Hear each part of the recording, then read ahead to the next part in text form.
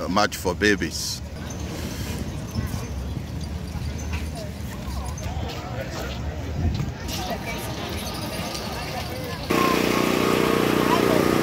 See a long line of matches.